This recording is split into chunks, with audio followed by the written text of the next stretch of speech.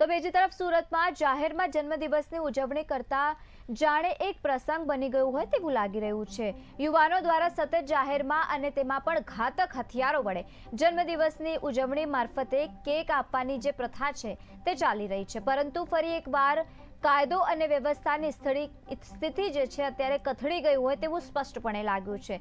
દ્રશ્યો આપ નિહાળી રહ્યા છો. અસામાજિક તત્વોનો આતંક દિવસે ને દિવસે વધી રહ્યું છે. તત્વોને પોલીસનો કોઈ પણ પ્રકારનો ખોફ નથી રહ્યું. જાહેરમાં તલવાર વડે કેક કાપવાની આ ઘટના વધુ એક પ્રકાશમાં આવી છે. સોશિયલ મીડિયામાં વીડિયો હાલ ખૂબ જ વાયરલ થઈ રહ્યું છે. બાપુ આહિર નામનો આ શખ્સ હાથમાં ચપ્પુ અને બંદૂક જેવો હથિયાર લઈને ફોટા સોશિયલ મીડિયામાં અપલોડ કરી રહ્યો છે.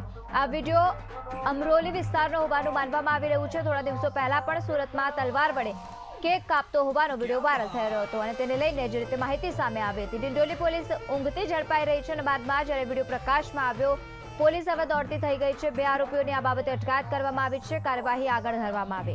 પરંતુ આવા લોકો વિરુદ્ધ સુરત પોલીસે લાલા કરતા કાર્યવાહી પણ હાથ ધરી છે.